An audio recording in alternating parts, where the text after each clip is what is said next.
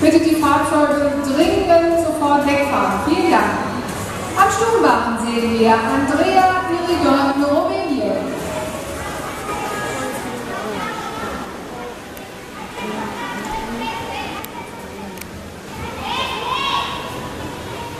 Thank